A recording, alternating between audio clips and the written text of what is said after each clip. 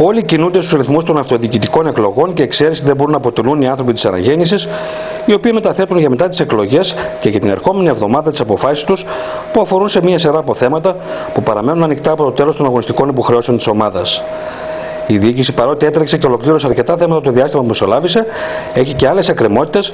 με τους κοινωνόμορφου φυσικά να μην βιάζονται, αφού ο χρόνος αυτή τη φορά και μετά από αρκετά χρόνια υπάρχει και χαρακτηρίζεται αρκετός για να χτιστεί η ομάδα της νέας περίοδου. Ο πρόεδρος συμμορφωμέτωχο της ΠΑΕ, κ. Βασίλης Μπούρμπος, συνεχίζει επαφές με τους ποδοσφαιριστές, τα συμβόλαια των οποίων λήγουν στα τέλη του επόμενου μήνα, ενώ στη συνεργασία με τον προπονητή της ομάδας Άκη Θαδουσιάδη κοιτάζουν και στη μεταγραφική αγορά για να εντοπίσουν εκείνους τους παίκτες στους οποίους θα γίνει πρόταση συνεργασίας, ώστε η αναγέννηση να ενισχυθεί εν ώψη νέας περίοδου.